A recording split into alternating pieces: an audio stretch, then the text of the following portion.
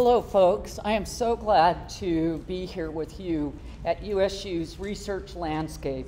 This is actually our efforts to link people with Utah State on many, many of the efforts and issues that are facing our state in land, water, and air. I'm Noel Cockett, president of Utah State, and uh, really, really glad to be back in person and being able to uh, welcome all of you to, to our event. Um, I especially am grateful that we have many city, state, and community leaders and stakeholders here with us today. And we've noticed that there's no group of individuals who care more about the challenges that are facing our state in land, water, and air. Now, we're hosted at the OC Tanner campus. Uh, we're very, very appreciative to them to be opening this beautiful venue in a very centrally located spot where uh, we can host our research landscaping presentation. And a special call out to President and CEO of OC Tanner, Dave Petersen, who also is a trustee uh, for Utah State University. Really appreciate their willingness to support us in this way. Um, I also want to give a special shout out to our USU Office of Research and the research communications team under the Office of Research, which is very, very capably led by our very own Anna McIntyre. And she might, where is she? There, oh, there she is, way in the back, probably dealing with the sound system or something. Um, I'd also like to recognize some of the special guests that are here today. Certainly not exhaustive because there's many, many good people. But I did want to call out Representative Doug Sagers, Representative Galen Binion, and then a couple of individuals that we have uh, from uh, some of the counties, Commissioner Tammy Pearson, and also a couple of individuals who uh, are part of Utah State. Uh, Kent Alder, chair of the USU Board of Trustees, and Jody Burnett, former chair of the USU uh, Board of Trustees and now part of USU's foundation. Um, in fact, Kent and Jody have helped many, many times as we kick off our research landscape. So glad they're here. Now, it's possible that you either forgot to RSVP or and still came, which is okay. We're glad you're here, or we missed you. So, if there's any other elected officials, could you please rise, and then we'll uh, show our appreciation to all of you. Okay, we got you covered off. All right, so um, there's also several of our administrative leadership from Utah State, uh, deans and vice presidents. Stick up your hands there, good and high. Um, and then I'd really like to call out another special person, and that's Brian Steed. Now, Brian used to come to these uh, events as the executive director of the Department of Natural Resources for the state of Utah. But if you um, have been uh, connecting to USU's news, you would have noticed that we have been able to recruit and place Brian the, as the new executive director of USU's Janet Quinney Lawson Institute for Land, Water, and Air. And um, absolutely so excited to have Brian with his connections, his leadership, and his understanding of natural resources to be able to continue to connect USU research with the state. We started the research landscape over four years ago, and some of you I know have been very, very regular attendees. Um, and the idea, again, was to connect people uh, with the research and outreach we do for, at USU on land, water, and air. And of course, those issues have become more urgent in the West, particularly water. Water takes a top spot in the worry list of citizens of Utah and uh, the West. So, um, but when you look at water issues, you have to consider agriculture. Agriculture and our use of water by agriculturists is key to managing Utah's water challenges. Last week, Governor Spencer Cox's office released Chapter 3 of his Coordinated Action Plan for Water, which focuses specifically on productive agriculture. As the report po- points out, we need to involve agriculturists in our discussion because not only does it recognize the importance that Utah agriculture has for our state's economy, but we also uh, want to recognize the important contributions of our Utah farmers and ranchers in providing uh, and addressing food supply and food security, not only for Utah, but also the country and the world.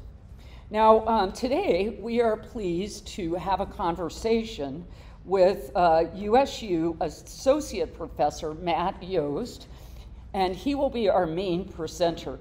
He will share his take on these issues of land, water, air uh, with agriculture, water optimization in Utah. Dr. Yost is a native of southern Idaho, where he was raised on a dairy farm. After completing his PhD, he spent four years doing postdoctoral research in the Midwest. He is now the agroclimate extension specialist uh, at Utah State, and he is the director of USU Crops. He's authored numerous journal and extension articles on research dealing with water optimization, nitrogen management, precision agriculture, soil conservation, and bioenergy crops. Dr. Yost is highly regarded in Utah as a key expert on agriculture and agricultural irrigation. Before Matt presents, though, we will hear brief remarks from two special guests. Craig Buttars is the commissioner of the Utah Department of Agriculture and Food. Before that, he served as Cache County executive for six years, county councilman for six years, and member of the Utah House of Representatives for nine years. Before his public service, he spent the majority of his career as a dairy farmer. And that's actually my first contact with, with Craig was when I was dean of the College of Agriculture at Utah State. Commissioner Buttars will be followed by Representative Casey Snider, who represents House District 5 in Cache Valley.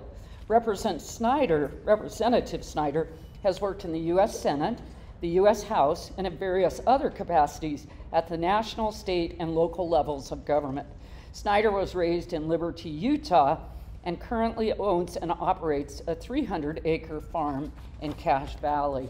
So let's go ahead and get our program started with Commissioner Buttars.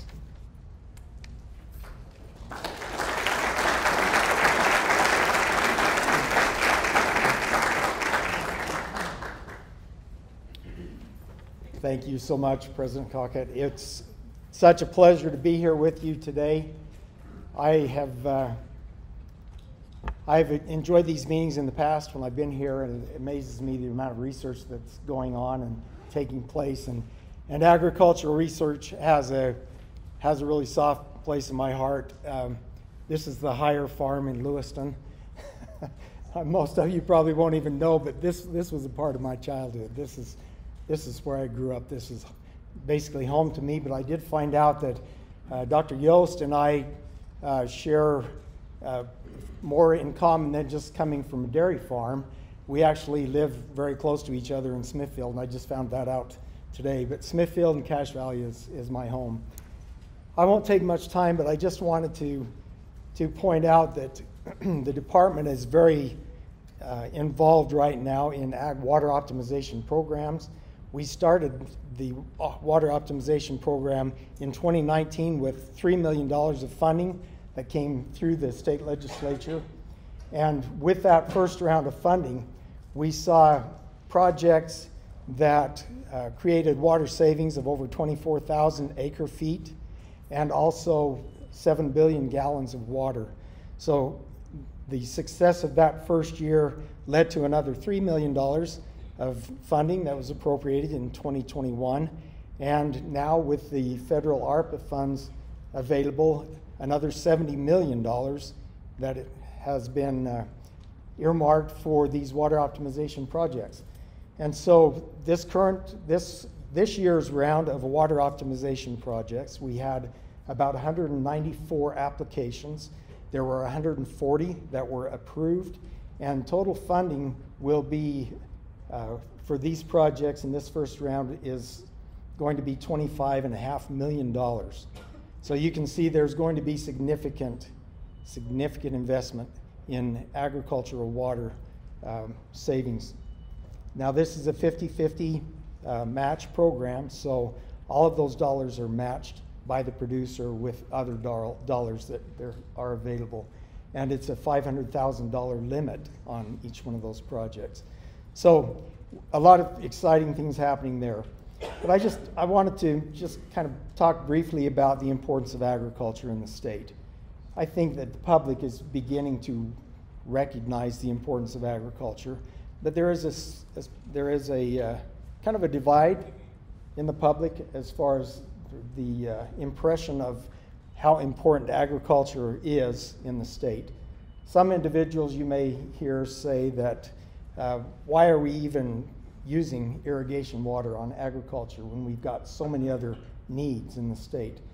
It's my belief that the, uh, our ecosystem benefits greatly by the irrigated farms and ranches that we have.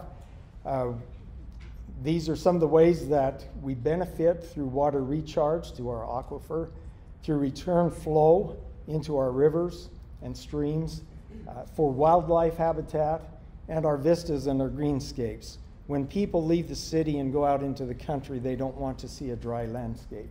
I mean, we do have a lot of beautiful, beautiful red rock country, but when you mix that red rock with the green of our agricultural operations, our farms and ranches, that contributes to the beauty of our state. Also, we have a, we have a great, several great programs in the department our agriculture voluntary incentive program uh, is, a, is a water improvement program where we, we work with cooperators to manage their nutrient levels. And we also have our soil health program. And uh, there are many things that we're doing at the department right now. And all of those things benefit from the research that Utah State University does. We, uh, we need that to be able to tell our story. So thank you so much for, for inviting us to be here, and, and we look forward to hearing from Dr. Yost.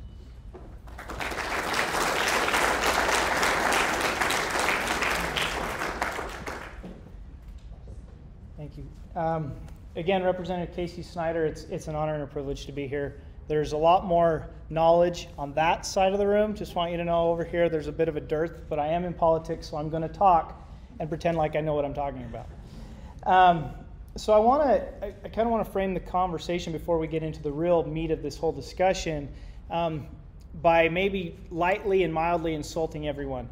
Um, th- there's this notion that I think all of us have that somehow our time is unique and that all of us are special. Like the challenges we face are new, and, and there's we, it, it's never been ha- it's never happened before.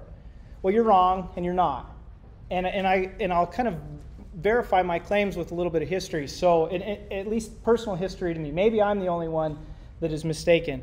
Um, my family homesteaded Ogden Valley, and Liberty in, in particular. And I grew up there and, and, and farmed there as a kid. And my great great grandfather was a rel- relative, he was, he was a giant. He was six seven. He married a very short woman and ruined every generation after him. Um, but in his time, he was a very big man. And he, it was said of him, so he, he settled Liberty from North Ogden, and he, would, he was strong enough that he would take a plow and he would throw it over his shoulder. His horses would go in front of him. He would haul that plow over North Ogden Divide, farm all day, and then carry the plow and drive the horses back. So he, he was a big man and, and, and generally kind. Um, so his name was his name was Robert Montgomery. Uh, he interacted with a man whose name was Will Southwick. So uh, Will, by all accounts, was was gentle in his he he was held various uh, positions in his local church. And by his own journal accounts, he said, I, I never fought anyone or harmed anyone except in two injustices in my life where I was absolutely wrong. Okay? So the other thing that makes Will very unique is he was he was a logger by trade, and in an, in one afternoon he was lacing up his boots and he cut his finger on the eyelid of his boot, and that led to blood poisoning, which ultimately led to the loss of his arm. Okay, so you have gentle giant, my great grandfather, and you have one armed nice man. So the the only interaction that I can tell that I know was documented is in my great grandfather great great grandfather's diaries he says that Will Southwick hit him in the face with a shovel in a dispute over water. Now, what would drive a peace loving, one armed man to take on a, the Ogden Valley giant? I don't know. But, that, it, but if anything could do it, it is water. And, th- and again, this isn't a time uh, the Native Americans were still foraging in Ogden Valley. Like the, the canals were first being established, but at the root of all their conflict was water. Now, fast forward to where we are now. We have agriculture, which I would say is the gentle giant in this room. Agriculture maintains most of this water in this state and has fed uh, our communities for generations and continues to provide significant economic return to, to all of us here, not only the communities where it's founded, but along the Wasatch Front where maybe agriculture isn't as noticeable. Yet there is beginning to have this conflict in, in this space. There are generally individuals who are otherwise have less water and maybe one arm, and are, are beginning to say things that ag doesn't need as much water. We're seeing conflict raise, uh, specifically focused around the Great Salt Lake. So, this fight that is endemic to this state is remagnifying itself at, at a more regional scale. Now, what I, what I would say we need is we need the Matthews of the world. If you would have been there, my great great grandfather would not have bled. We, we, we need research. We need to solve these difficult challenges with learning and education and time and pragmatic solutions, which is what I hope we're going to have, what, what I know we're going to be discussing today, and what I know Utah State's going to continue to put forth into the future. So, with that, I will turn the time over to the main speaker. Thank you.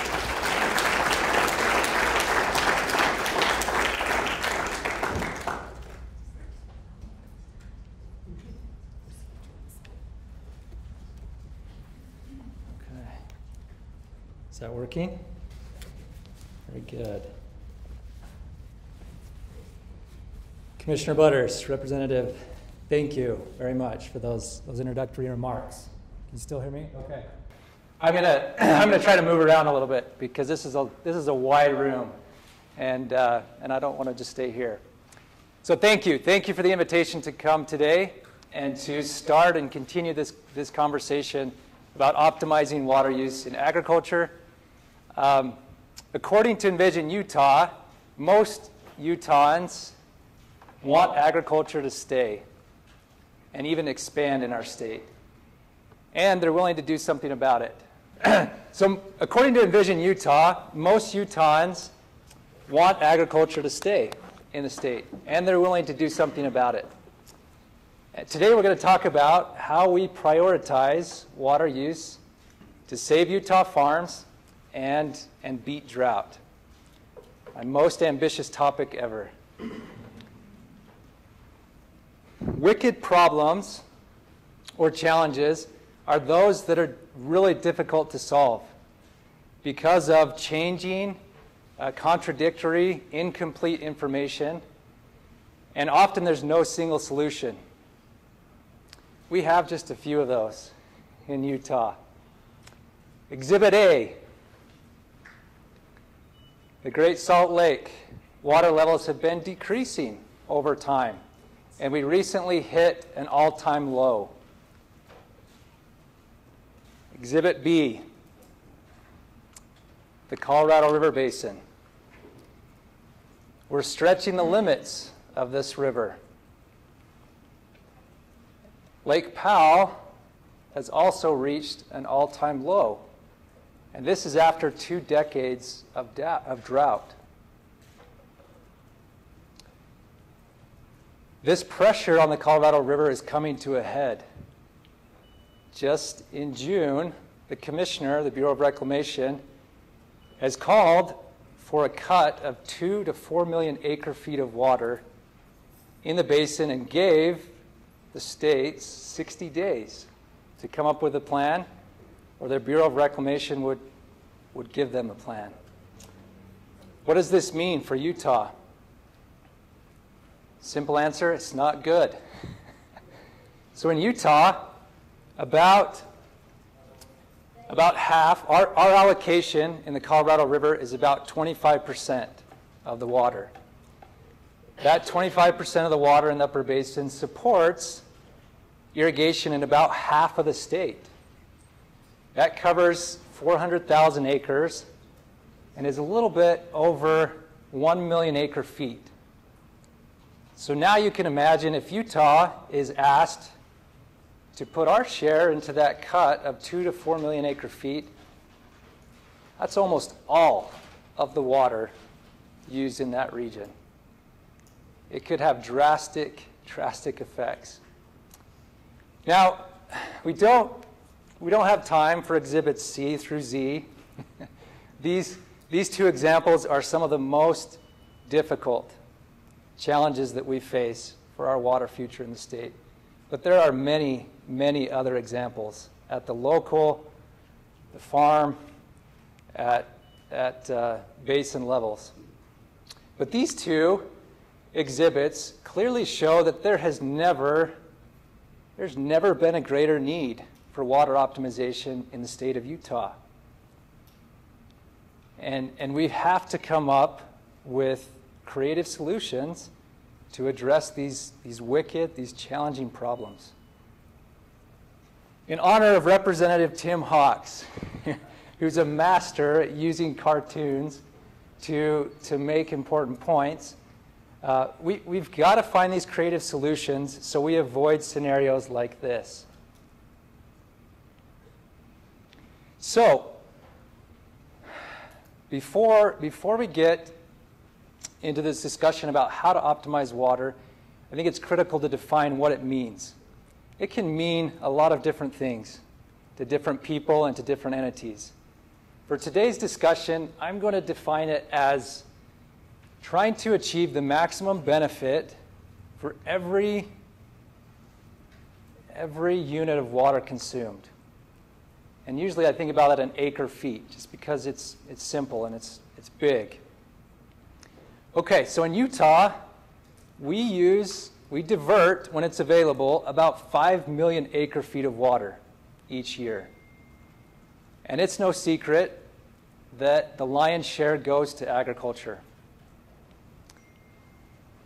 And that causes some to wonder why does agriculture need so much? And they must be wasting a lot of water. Why does agriculture need water?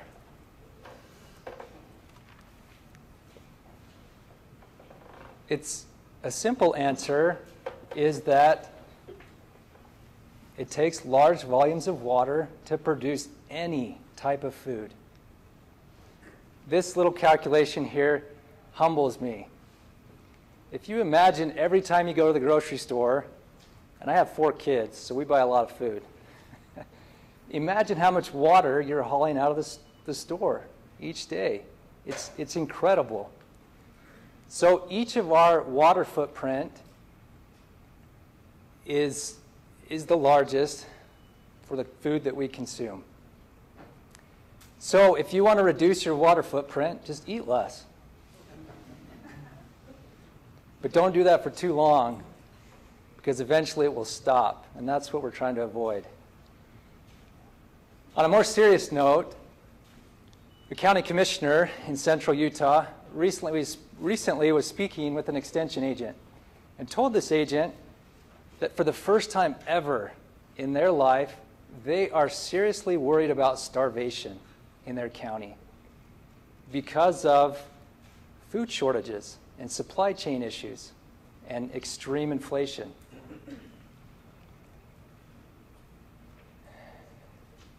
Agriculture can improve its water use, can become more efficient, just like any industry. There's always inefficiencies. But by and large, this industry puts its water at lion's share to a very beneficial use. Agriculture is the first industry in the state has grown to include about 18,000 farms that occupy about 11 million acres, provide roughly 18,000 jobs, and contribute about 15% of our, our state's economy. Now, these benefits are, are a little easier to quantify than, than the others that, that Commissioner Buttars talked about. There are many social, human health, environmental, and food security aspects that the agriculture industry provides to our state. Uh, and those are more hard to, to quantify, but they're valued. Frankly, rural communities in Utah would not exist, many of them would not exist without agriculture. It, it is the lifeblood of rural Utah and the economies there.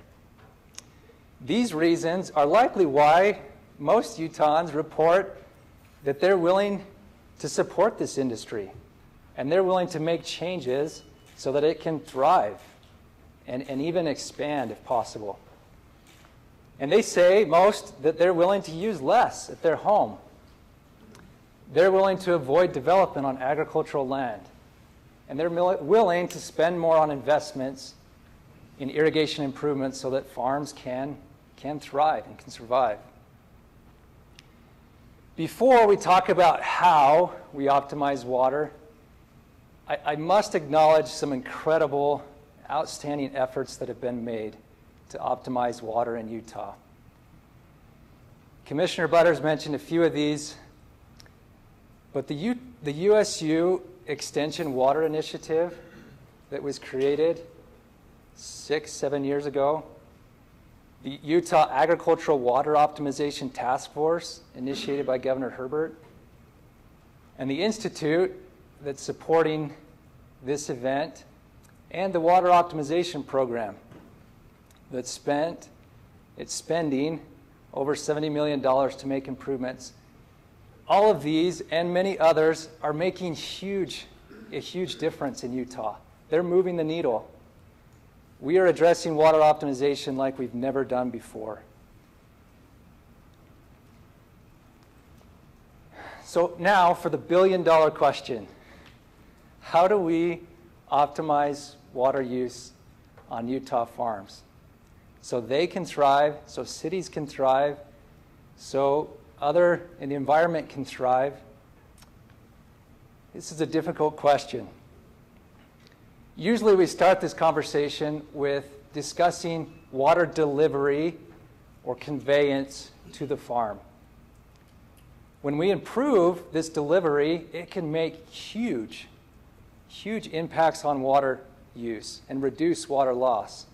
But it is very, very expensive.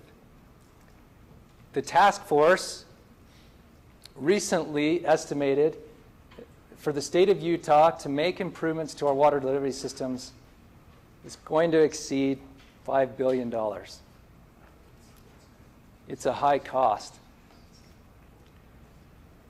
I'm going to spend more time on what happens when water gets to the farm. This, this is where farmers have more control. When water gets to the farm, I like to think about it in four, four ways that we can, can optimize water.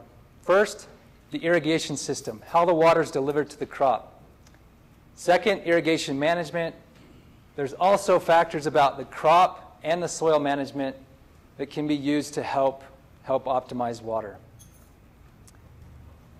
A long list of collaborators and I each year conduct about 20 to 30 research trials on farms in Utah to try to understand how these factors, these four areas, might help us optimize water use. We've looked at them individually, and we've also, at a few sites, tried to start putting lots of these approaches together to see how suites or combinations of them are going to cumulatively help us op optimize water. First, irrigation systems. There's many ways to irrigate crops. each irrigation system has water loss. There is no system that's 100% efficient. The type and the amount of loss also varies with the systems. And the amount of that loss that can be recovered also varies. Some lose a lot, and we can recover a lot. I just want to show you one quick example. Surface irrigation, flood irrigation, often becomes a target. Why would anybody use that? So inefficient. Here's just a quick example. If you furrow irrigate, this is a type of surface, look at its loss, about 40%. You compare it to some sprinkler types, hand lines, solid sets, wheel lines. The loss is about the same, but the recovery of that water is much, much higher. So those two factors are, are critical, and we cannot forget them. We have to consider its efficiency, and we have to consider the recovery of the water when we compare systems. Now, each of these systems, we can improve efficiencies. There's lots of ways to do that. Today, I'm just going to talk about one system, center pivots. This system is used more and more in Utah, mainly because it's efficient, it's easy, and it saves labor, which is another, we could spend a whole landscape talk about labor shortages in the state. For center pivots, if you've seen these around the state, you'll notice that most of them have sprinklers that we call mid-elevation sprinklers. They're about this high off the ground. And they work well because they get, they get good coverage. But there's other systems that are low elevation that now get the water just a few feet off the ground. And by doing so, they need tighter spacing.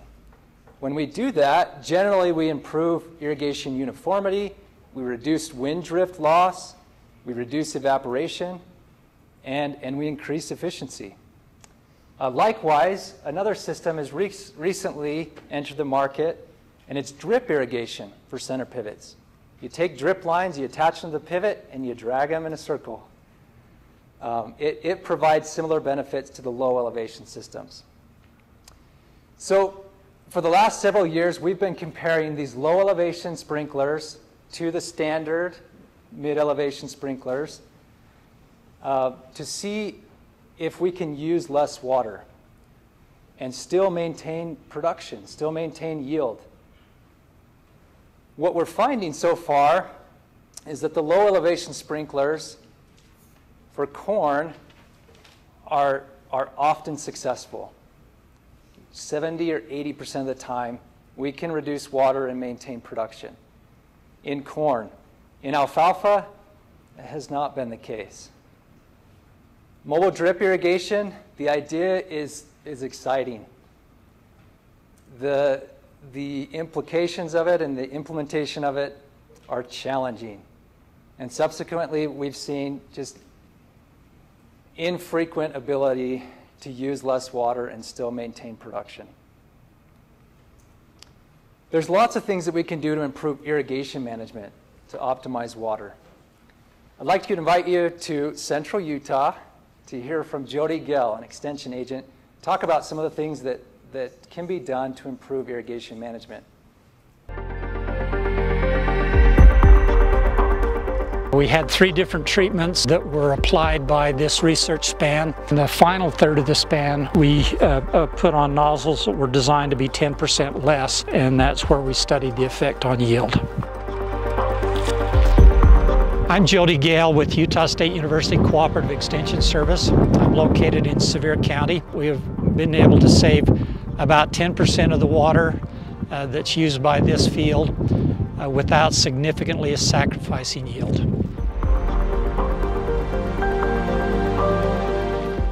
Each one of these wires is connected to a soil moisture sensor that's uh, buried between one foot to six feet deep. With this type of technology where you're measuring what's actually in the soil, combined with weather data from the weather station, uh, that provides the database uh, necessary to be able to uh, control the center pivots on how much water they apply.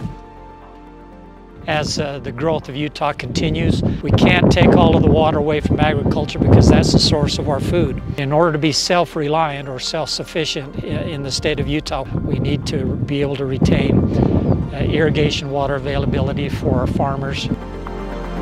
In Sevier County in the last 20 years, approximately uh, a third of the uh, water that is used here has gone from traditional furrow or flood irrigation and installing mechanical systems which are much more efficient at irrigation. So agriculture is already working very hard. Our farmers and ranchers are spending literally millions of dollars uh, on uh, new systems to be able to conserve water within the state.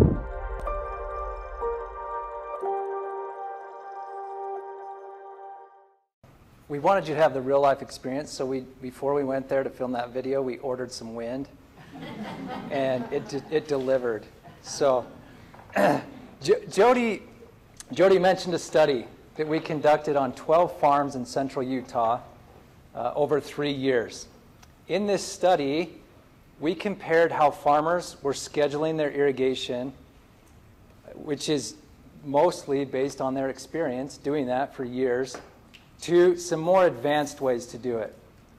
And we looked at three different tools. One was using weather stations, another was soil sensors, and a third was a commercial model, a program that automates irrigation scheduling.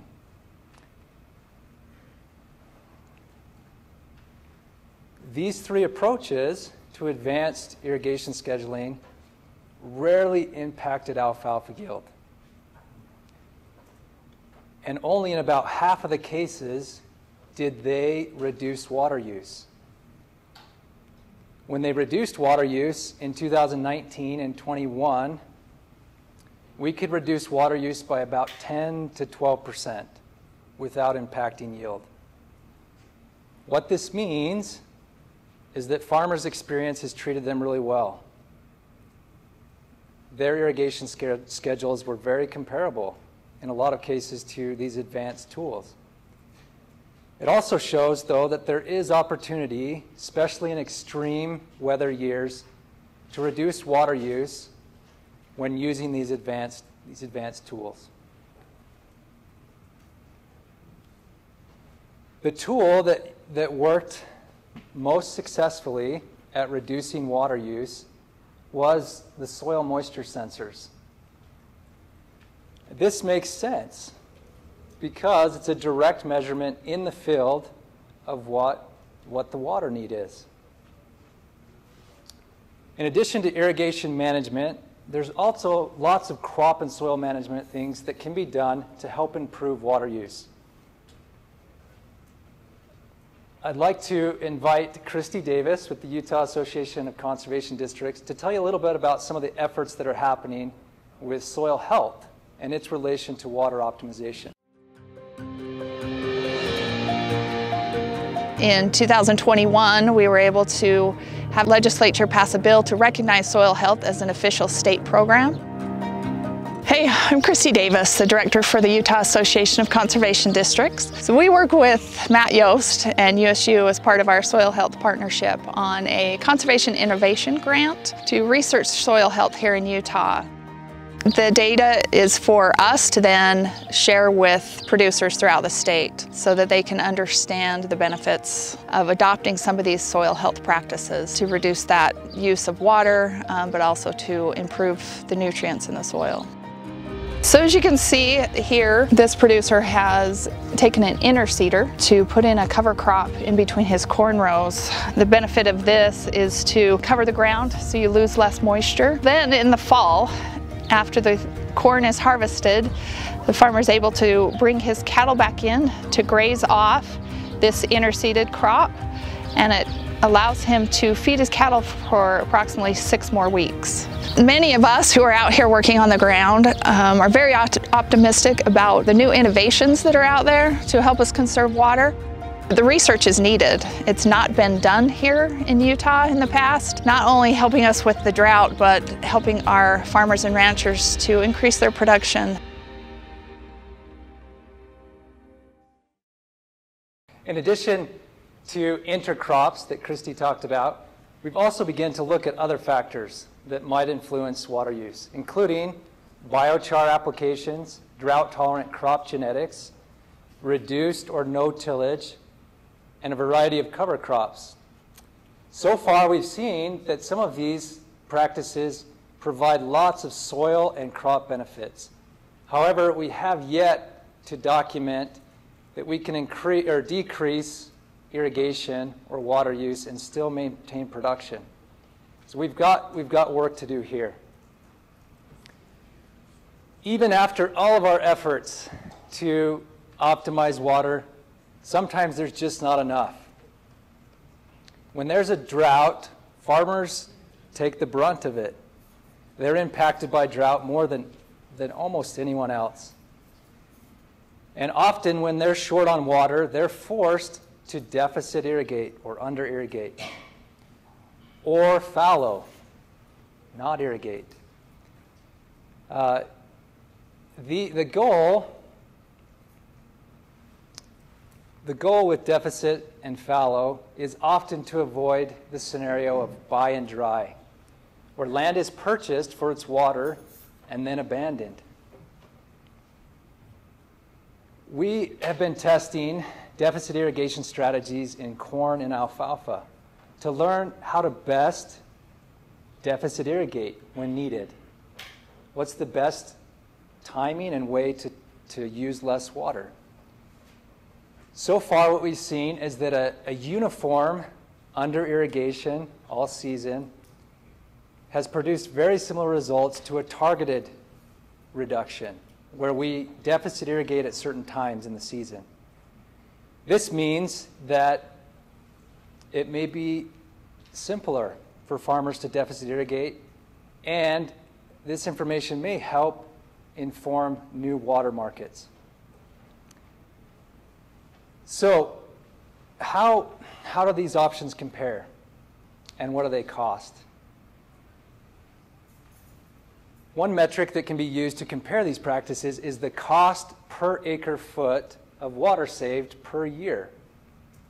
You'll notice quickly for these 15 approaches that we've estimated this metric that there's a lot of variation. Uh, you'll also notice these highlighted practices, or ones that we've been talking to, about today, are some of the lowest cost options. Modifying irrigation systems, using soil moisture sensors to schedule irrigation. Now, this cost is going to be extremely variable from farm to farm. To aid with that, we've recently developed a interactive calculator to help farmers, water managers, others uh, assess different options, customize it with their costs and their expected water savings, and then use that to prioritize water optimization on the farm, at the basin, at the state level. So, in summary, what does this all mean?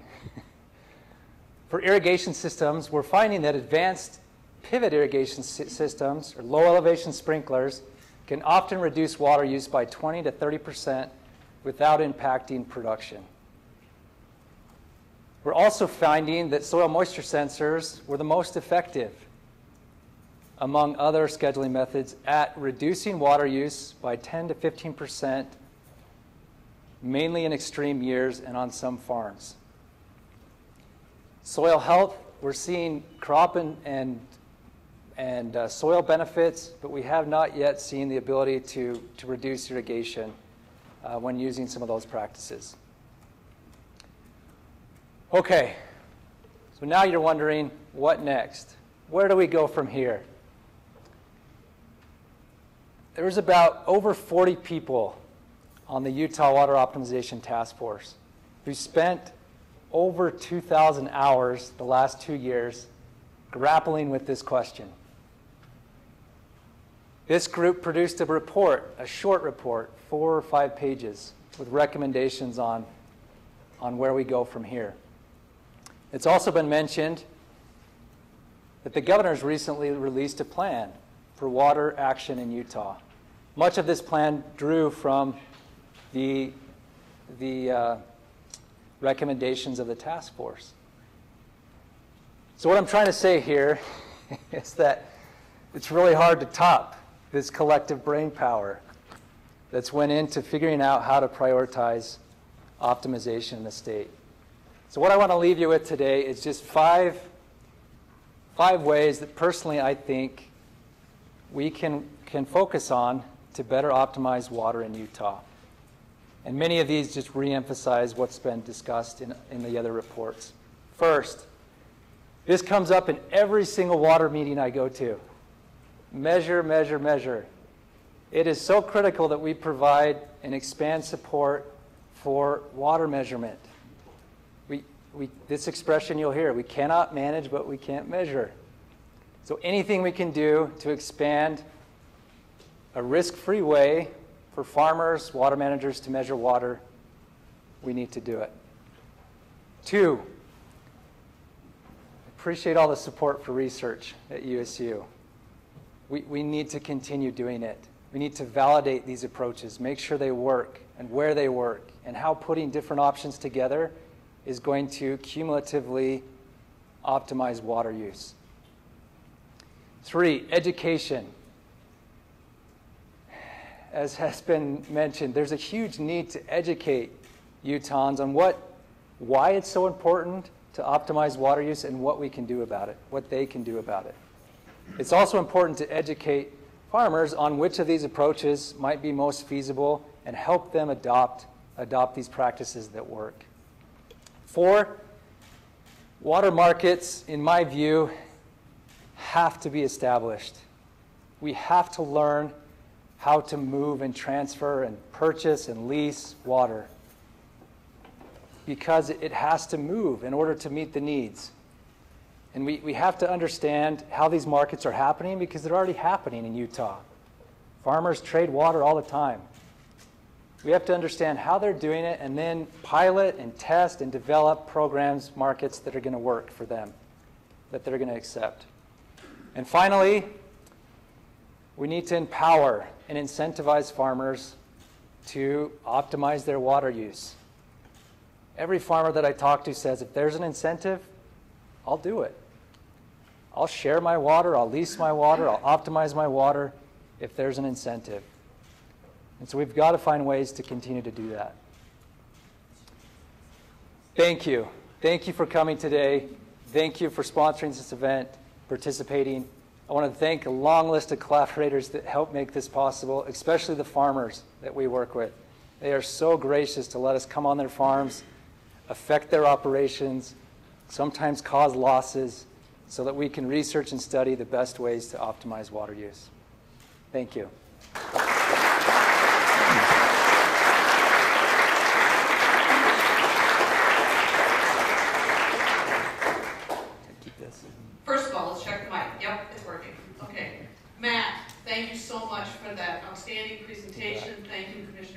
Representative Snider.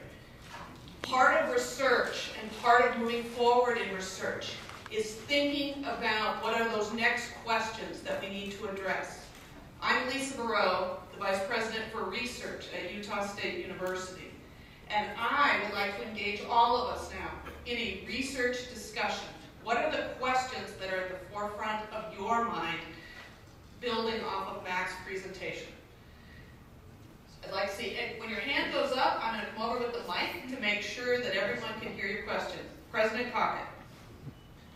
So Matt, one of your first slides was this idea about Utah having to come up with a plan to reduce our water usage out of the Colorado River Basin. I'm curious what agency or agencies will or has come up with that plan, and do you know what it is? Great question. I I believe it's the Utah Colorado River Authority, but I am not sure. And yes, I'm getting thumbs up. I think they're the primary group responsible. And I do not know where they're at. If somebody, is anyone involved in that that could report on that? What's that? They did submit their plan? Can we see that plan? Is it public yet? Okay. I'd, I'd Very like good. to know if there's any plans to help the local uh, I go to the farmer's markets here in the valley, and I have noticed a great deal of growth in that sector. And are you, and is there beginning to be work with those folks and have a, because I think that, because I really value that food source, and I think that's really important for us. Great question. Um, the answer is yes. Things are happening. Um, and yes, more things need to happen. Uh, the, the positive and the really good thing is that a lot of the principles that we talk about for optimizing water use apply at lots of scales. Small vegetable farms up to large grain or forage farms. And so, uh, so there's things that are happening and that are applicable. Uh, there's more that needs to be done. One fortunate thing that, that's happened in just the last few years is that we've hired a small farms and urban agriculture specialist who works with a lot of small farms to, to help, help with some of those issues. I'm going to ask each person to stand up when we have the question so you can see who's asking it. I have a question on your optimization studies. Did any of those setups include pivot grazing? Um, we have not looked at pivot grazing. Um, that's a good next study. So if you have some cows and a pivot, let's talk and let's see what we can do to, to look at some of those other options. So thank you. Oh. Uh, there was the Deseret News on June 6th this year uh, about automated hydroponic fodder systems, conveyor belts, and hydroponic uh, growth with LED, LED lights and stuff. And it saves around 90% of the water compared with pasture-raised alfalfa. Mhm. Now, what is your opinion on this? Great, great question, and thanks for bringing that to light. Uh, indoor production of food, we can really increase water use efficiency a lot uh, because we can recycle that water. But we also really increase energy costs when we do that. Uh, one of the professors at USU likes to say, it is very difficult to compete with the sun as an energy source. So, so it works, but it's extremely energy intensive to do, do that type of indoor production. Um, and it's extremely expensive to do it at really large scales and to produce large, large quantities of food. So there's a place, it works, it will grow, that industry will grow over time, uh, but I don't ever see it replacing large scale agriculture that, that's required for large production of, of grain and, and forage crops.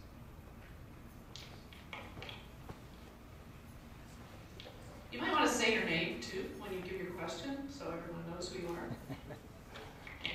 Hi, uh, Terry Marasco. I didn't see much about which plant does best in which spot, Mhm. particularly for the driest states. Is there much research on that? There, we're starting to look at that. Um, so, and I didn't have time to mention, I apologize.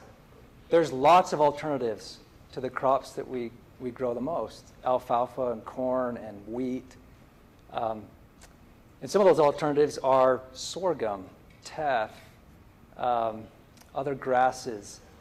Um, those crops do well. They, we can grow them here, a lot of them here. Some of them use less water. Uh, generally, with some of those, when we use less water, it also means we get less yield, less forage, less production. Um, and so that's one of the challenges. The other challenge is just markets. Right? Far, every farmer that I talk to will say, if there's another crop option, sign me up. I'll grow something else. I'll diversify my farm if, if you can guarantee that I'll sell it. If you can guarantee that there's a market for it, I'll grow it. Um, but that's, that's the challenge, is that we, a lot of these alternative crops, we don't have a market. One example is quinoa. A few years ago, oh, lots of excitement about quinoa. And, and so we started studying it. A few farmers started putting it in their fields. We got a few center pivots of it, and then bam, we flooded the market. Um, and so, so that's another challenge, just creating these new markets for alternative crops that are going to make them viable. But yes, we study them. Yes, we look at their water use. Yes, some of them can reduce water use. Sometimes that comes at, at less production.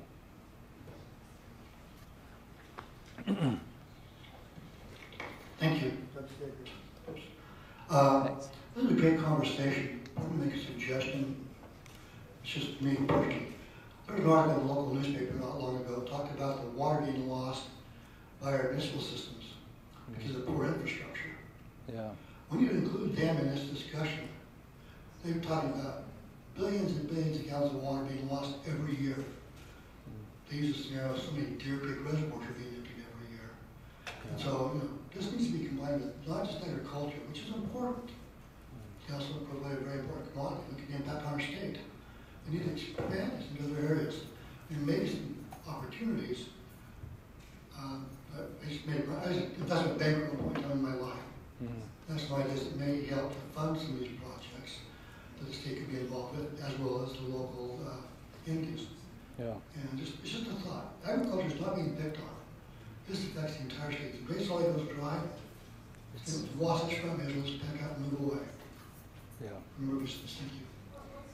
Th-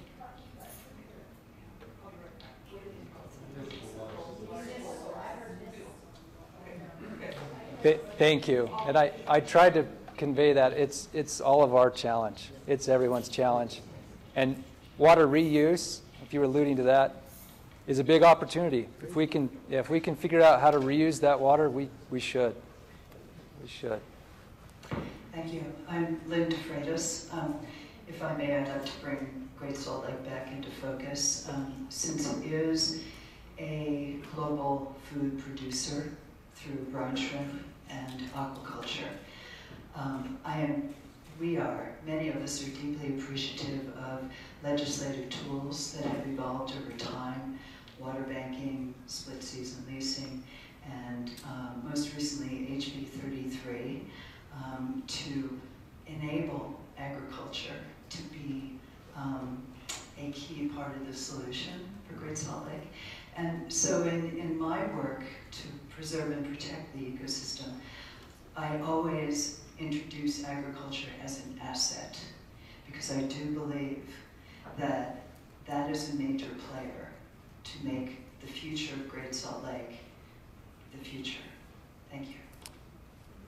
Thank you, Lynn. We need to share and spread that message even wider, I think. That's a great thought. Thank you. Hi, uh, my name's Keen. I'm just wondering how much food produced in Utah stays in Utah? That's a good question, and it's hard to track. And I don't, I don't know good figures and numbers on, of that offhand. Um, if you look at direct consumption, maybe someone does. If you do, that'd be great. Direct consumption's pretty low, like vegetables and fruits. Um, well, here, you just, you, Commissioner Buttars, yes. Okay, sorry. I can tell you about the dairy industry in Utah. We consume 94% of the dairy uh, products that are produced here in the state. And that's probably the highest industry as far as what we, what we grow and what we consume.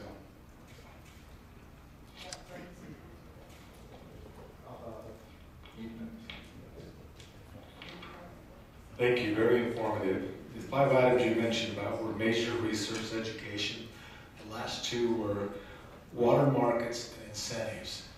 I see the water markets and the incentives that are going on the western slope of Colorado, and it's all large dollars from the east coast to the west coast buying up. I'm curious at how you would like to define or how you perceive the water markets being defined in the state of Utah and where the incentive is going to come from to keep the water here. That's a great question and a difficult question. um, so, my understanding is a lot of irrigation companies market water among users. They share and they use water and, and give water when it's needed to other users in the company. Moving that water from company to company doesn't happen much, or from company to um, other uses, environmental uses, lake, stream, river, uh, don't happen that much. So I, I would envision it as creating, try to understand how those markets are happening, currently, how water is being shared among users, and then trying to figure out how to get some more people at the table.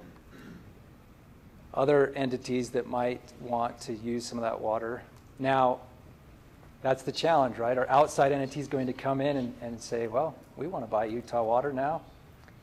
And, and some of us may not like that idea. And so, yeah, I, I don't know exactly how that will look and how we figure that out. But I think local, regional entities coming in and helping to, to have a seat at the table and figuring out how can we work with existing markets inside of existing companies to see if they have excess water or they're willing to lease some of their water, how do we make those arrangements? Um, and how do we protect our interests in Utah from maybe outside interests that want a seat at that table where we should we should have the 1st seats. farmers in the state of Utah. Where's that dollars? Where, where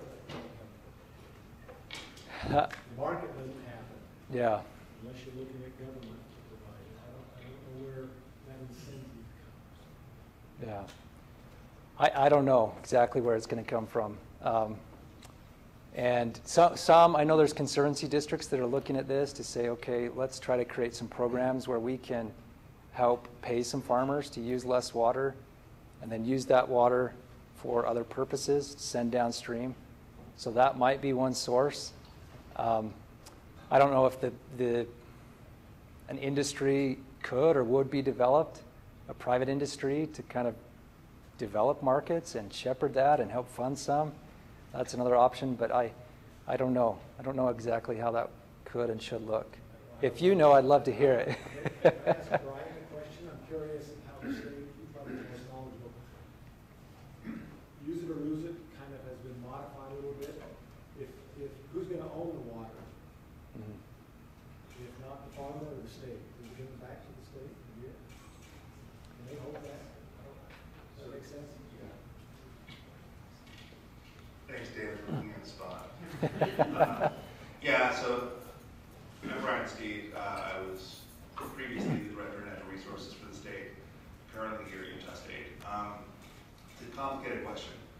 And uh, right now, there's not a great answer for how those incentives come to be, but for government.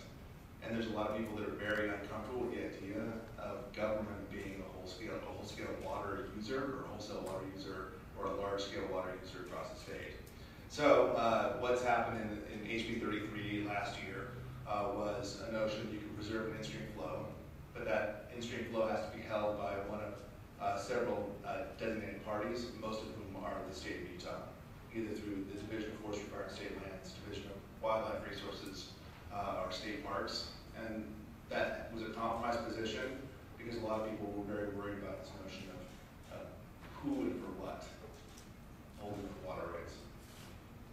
And we can talk offline. And, and I, I guess I will add just quickly there. So when I mentioned incentive, I was also thinking about law and laws that change that now support using less water and being able to free it up and sell it somewhere. And that, that creates incentive. And that's, as we've just discussed, some of that's happening.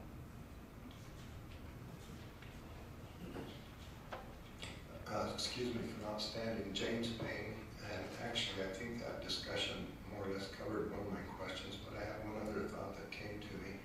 What responsibility does Utah State have for the um, Native American tribes within Utah and their use of water? Because I know that's a very complicated issue. That is very complicated. And I think our primary role has always been research and education and outreach. Uh, we certainly work with Native American communities um, and, and try to, to help, help them use their water and help, help facilitate relationships with others. Um, that's, that's the extent of what I know. I don't know if President Cockett could, could, or Brian could speak more of what's being done there, but. It's a work in progress, uh, and I- think there are a lot of things going on. Most recently, uh, in the Navajo area, uh, the Utah, Utah State is working uh, with the Navajo Nation, uh, developing a campus in Monument Valley, uh, and the state recently entered a negotiation with, or included a negotiation on water rights And so we're really at the, at the table in deciding how to use, or how, how to help the tribe use its water that historically it has not. President, anything you wanted to add there? Well, I was just going to mention, we now have an extension agent for San Juan Cows- County who is Navajo, and she would be uh, located on our campus in Monument Valley for exactly that type of thing through horticulture uh, and, and soil land uh, that can help with uh, water conservation. So that's coming. Thank you both. Yes. Hi, my name is John Contos. I'm a local farmer in Ogden, Utah. Um, I farm about 1.5 acres in about four different places. So Ogden, which is Pineview Water System, and then also out in Harrisville, which is flood irrigated. I also farm up in Eden, and that farm has a well. Uh, but I really like what you were saying earlier about being able to measure things because uh, that guy that had the system for the, that would be nice to see it trickle down to any farmer, you know, good, good information, good state-of-the-art uh, technology, because I think that's the way uh, we can really conserve water. Thank you. Thank you for that confirmation that what we do is meaningful and, and needs to be expanded and, and scaled. Thanks.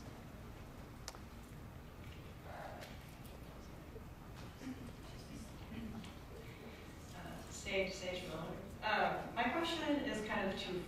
First one is, is there a model where these mar- water markets are kind of thriving that you can kind of look to see if Utah or any other state that's in a mega drought could implement? And then the second one is, and I don't know if any, any lawmakers in the room want to speak to this, but has the state of Utah have stepped forward any incentives to reduce agricultural water? Um, and if so, what are those? And if is there anything already implemented? Yes, it's a lot. let's, let's split it and, and address the first part. Um, is there great examples of water markets in the West or other places that could be used as models? I'm not sure that we have. My impression is we don't have functional water markets like this anywhere. That everyone's struggling and grappling with, with how to make these work. Um, we're starting to pilot them in Utah. There's been a few pilot water banks. Uh, some met with a lot of resistance um, because there's a lot of challenges to making them work. Uh, it sounds like a, a, perfect study, one that I'm not aware of, to, to study what, what's being done all across the West and see what kind of models are working and why they're not working or are working. Um, so that, that would be a great, a great study. Uh, the, second, the second question, how are states, are states currently, is Utah, our state, uh, providing incentives for farmers to use less water? compensating them to use less water. Did I understand that correct? Uh, Commissioner Buttars or someone at the state government level could probably answer that better than I could. I don't know if we are incentivizing. I think the in incentive there agricultural producers is actually there's no reason that you're going to overwater if you're going to kill your crop by overwatering. The incentive is to use the right amount of water to get the maximum production. And so I think the water optimization program that we've been talking about is actually an incentive for all our agricultural producers to, to uh, receive some help in, in, making improvements to the, to the water systems on their own operations. It's a big incentive. Casey wanted to. Yeah, I, I can jump in as one of the lawmakers, I guess. Um, so I would say we've actually made significant investments in the last couple of years. You look at the Ag Water Optimization Program, that has its origins in the state legislature. You look at the changes we've made to water law, especially last session, we're allowing flexibility for agriculture to provide its water for other uses. Uh, that's, that's coming through the legislature. I, I think fundamentally we're, we're looking at ways to allow people to enter into uh, contracts with their own private property and, and, and make decisions. But at the end of the day, water is, is an asset that individuals own. So you can only go so far. And the legislature and the state's never going to get to a position where I think you're going to see us mandating, um, but long-term providing incentives, uh, fostering collaboration, building partnerships. That's that's the direction we're heading. Thank you both.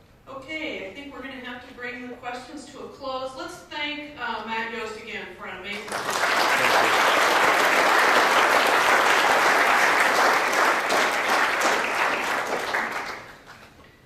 One of the things I know about research, to do the best research, you need diversity of thought. And that's why it's incredibly important for everyone in this room to continue to think about the major issues that we face and bring your perspective to these discussions. You asking questions inspires us to think about what the next generation of research looks like. And we need that input. So thank you all for being here today. Now, November 3rd, I would like to see you all in this room again. Our speaker is going to be Professor Joanne Endter-Wada. Her expertise is around the Great Salt Lake, and I'm told by uh, the researchers in that area that she's going to have some exciting new data to share with us at that event. So please put that on your calendar, November 3rd. There's a flyer on your table to take home with you to put on the refrigerator to remember. Second of all, we also have a second series called Blue Plate Research. And on September 9th at the Gallivan Hall, we're going to have one of our uh, most recognized researchers, Professor Greg Madden, talking about impulse decision making. Professor Madden is recognized for his research on a national and international level. And so I invite you to that presentation as well, again, September 9th. And finally, we are researchers at heart. We always want to improve. And so one of the things that's on your table is also a little card to give us some feedback on what you thought about today's presentation. If you could take a moment and just fill that out. On your way out, please stop at the table where you picked up your name badge, drop off the card, drop off your name badge because we're going to recycle it, and plan to be here again for the next Research Landscapes. Thank you so much. Have a good evening.